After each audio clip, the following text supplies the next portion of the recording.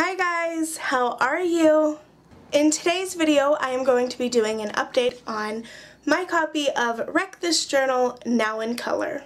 In this video, I will be showing you all of the pages that I have completed since the last time I posted a video on this book.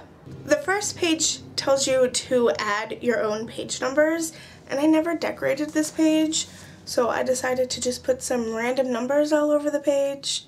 I did start numbering the pages a long time ago, but I just never did anything on the page. And then the big 4, 2, and 1 I drew and colored, but all of the other ones are just random stickers I had. Another page I did tells you to press leaves into other found things, but I crossed out leaves and circled found things, and then in parentheses I wrote from concerts because I was cleaning my room the other night and I found a bunch of things that are from concerts and shows I saw a while ago when concerts and shows were still a thing. You know, pre-COVID stuff. This is how the page looks. These aren't from every concert I've ever been to. A lot of my other tickets are in other scrapbooks or journals. But there is the top of the page with the prompt. And then on this page, I have my ticket from when I saw Miranda Sings, The Monkees, um, an Elf musical, one of my 21 Pilots tickets, a Peter Pan performance, um, when I went to see Dan and Phil's show with my sister. If you don't know who Dan and Phil are, they're YouTubers. And then confetti from a Taylor Swift concert I was at. And I believe that wristband is from when I went to see Mika in New York City. That was in a club, and the tickets were like digital, and then they put a um, wristband on you. I believe that that's what that's from. This next page said, scribble wildly, violently with reckless abandon. If you have seen my videos about my other Wreck This journals, you would know that it has become a tradition for me to draw a Disney character and then scribble in their hair, so that's what I did on this page. Unlike the other Wreck This journals where the pages are white, this one had pink pages, so I was inspired to draw Ariel from The Little Mermaid, and as you can tell, I like scribbled her hair in, but I still wanted the page to look nice. I didn't want to just scribble all over the whole page. This next page is one that I really like. I think it turned out super cute, and it said to climb up high and drop the journal. The prompt is written in this blue colored arrow, and then the page next to it is like this mustard yellow. So I was inspired to draw Winnie the Pooh floating away on a balloon based on the color of the page. But look how cute he is! I drew him on separate paper, colored him in with alcohol-based markers, cut him out, and glued him in. But I think he looks super cute. This is a page I actually did a while ago. I did this over the summer while I was at camp with my family. But the page says, place sticky things here. Then it gives examples of honey, gum, syrup, glue, a sucker, or marshmallows. And since it said marshmallow and I was at camp, I thought of s'mores because we were making s'mores. Here is how the page looks. I did draw a picture of a s'more and put it there. And what I did was when I had an actual s'more, I sat it on the page and I think I took a picture of it. If I still have the picture, I'll put it here. I didn't actually rub it all over the book because I didn't want my book to get moldy, so I just stuck in that drawing of a s'more. I had so much fun doing this next page. It said to pretend you are doodling on the back of an envelope while on the phone, and the page looks like an envelope. Here is what the page looks like. The prompt is on this blue page and it's written on what looks like a stamp. And the page itself looks like an envelope, but I had a lot of fun doing this because all of these are actually stickers that were blank and I got to color. So like this one was just shaped like a TV and I drew the TV and colored it in. That one was a cup with a straw. I turned it into an iced caramel macchiato.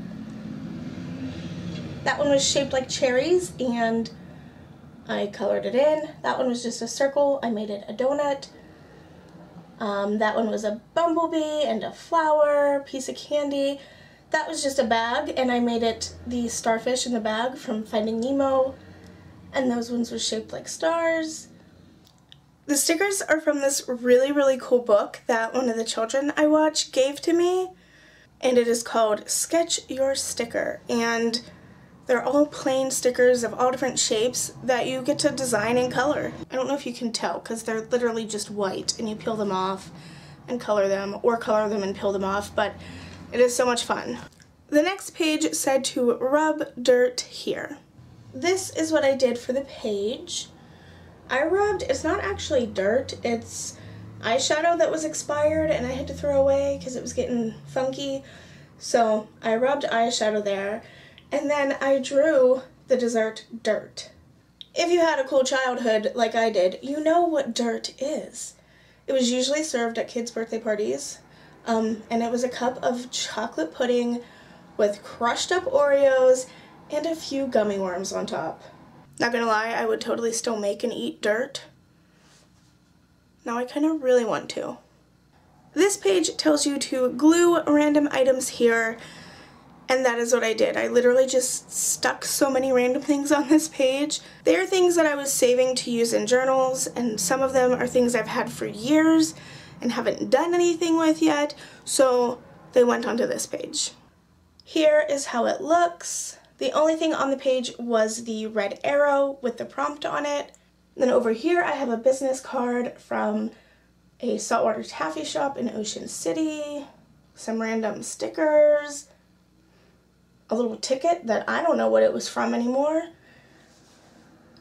The cozy from a cup of coffee from one of my favorite coffee shops.